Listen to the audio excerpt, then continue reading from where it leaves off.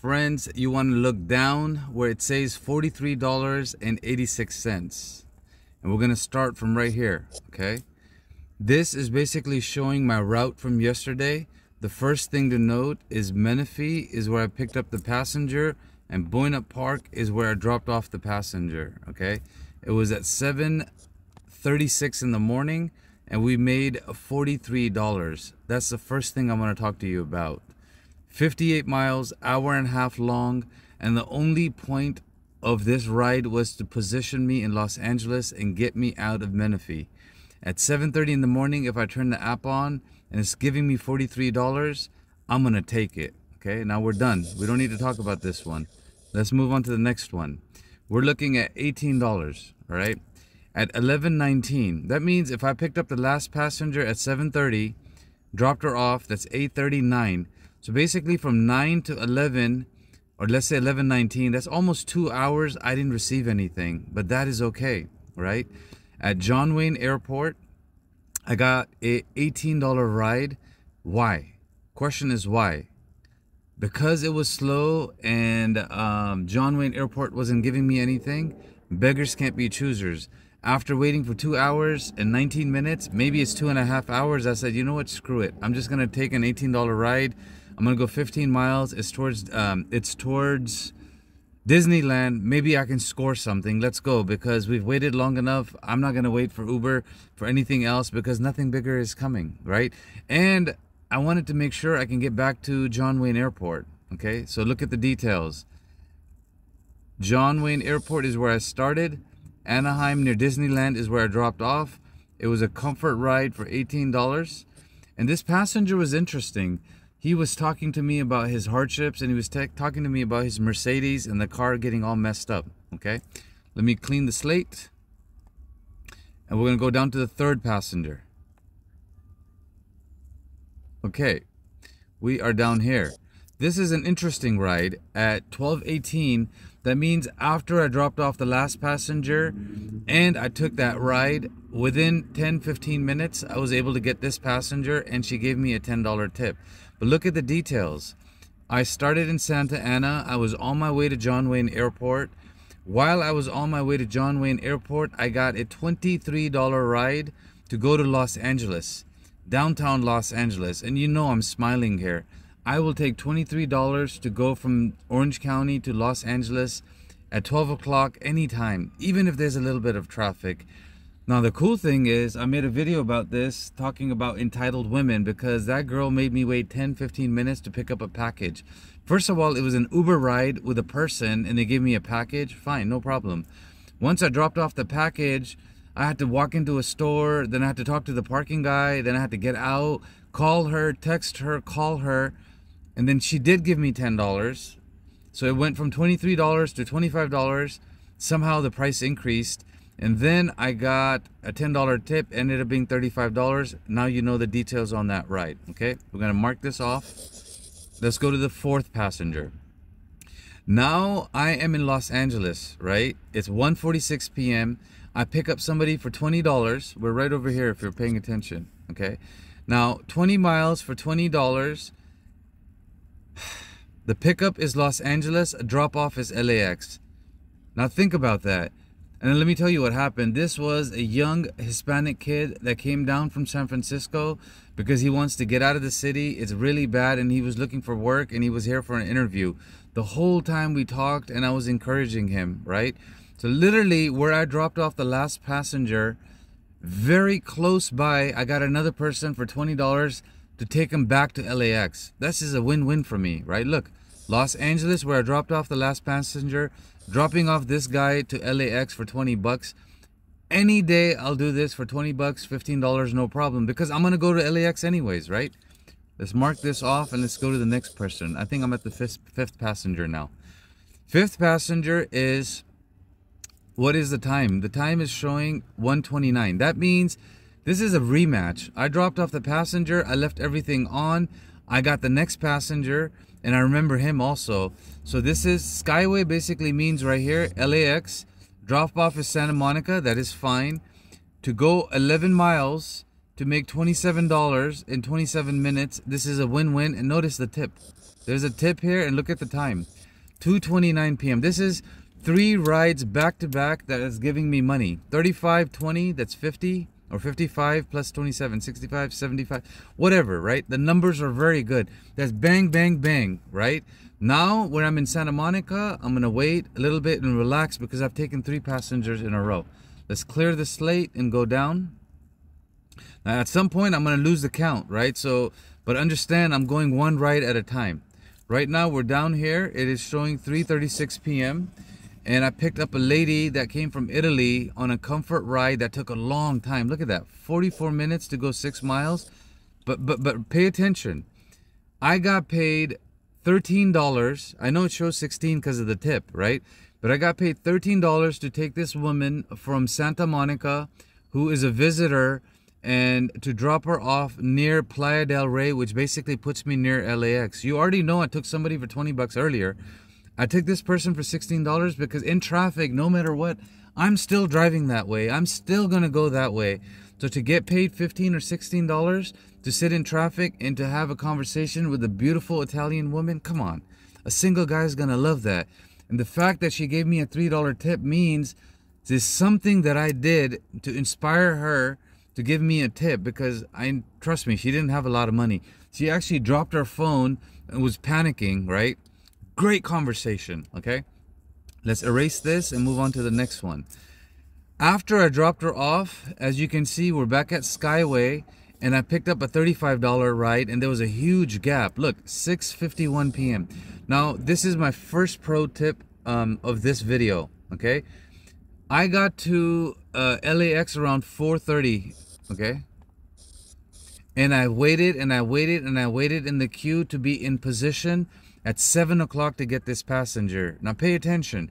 That is two and a half hours. I waited. I worked on my channel. I relaxed. I went to the bathroom. I recorded more videos.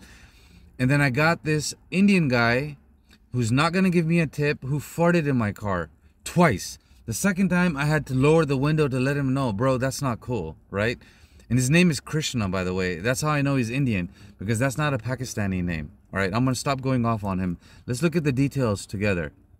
25 miles to go $35 to go 43 minutes. This is a win, a win, a win. Why?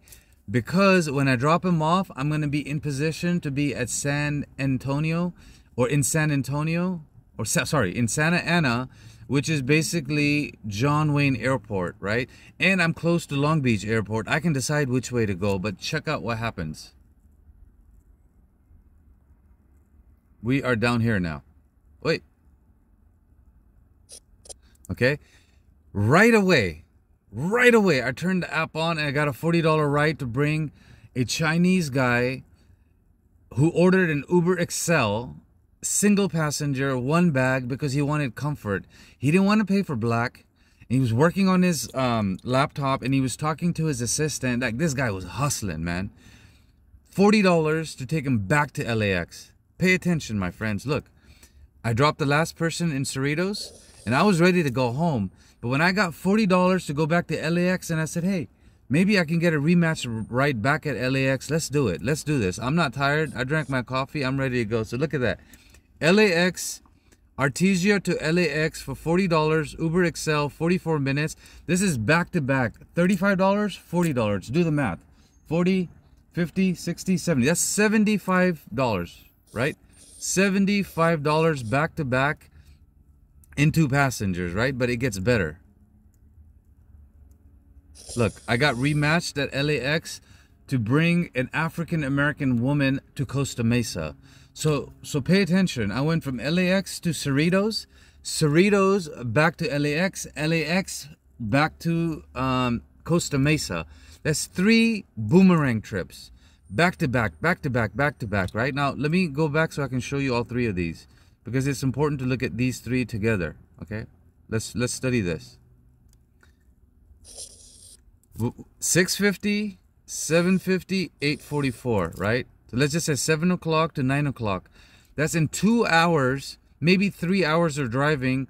I made, I got to do 75 plus $125 roughly, right?